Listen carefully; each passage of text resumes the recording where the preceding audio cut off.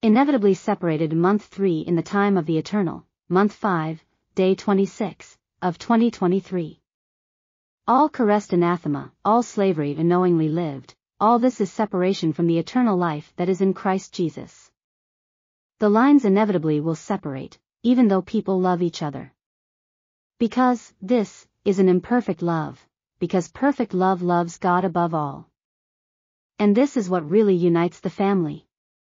The perfection of love only comes from God. This is a gift that is only given to those who truly live in the footsteps of the teacher. Quickly, the lines look clearer. What seemed good, is seen today, in, its real nuance, and evil is seen. This is unstoppable. There will not be much time passing in which each one of you will see who is really next to you. Nonconformity to the divine plan will leave many behind. Because, the living self will not allow anyone to advance to perfection in Christ Jesus. Sentimentality, will be the downfall of many, and they will lose their soul because of this. Once again I was reminded of the seven forms of falling, for he who does not overcome in this, will fall.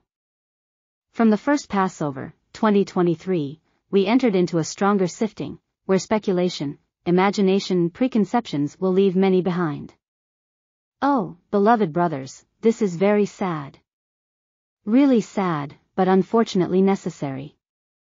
The chaff and the wheat must be separated at each step. And the Eternal knows how to do this. He is the one that have control of this. And each one of us, only, the only thing we must do is remain firm after Jesus Christ. It is my plea and prayer that we can all be able in Christ, be overcomers. And, despite the fact that sadness invades our minds and our hearts, let us cling more and more to Him. It is the only way with certainty, with security, it is the only way of life. May the Lord bless us.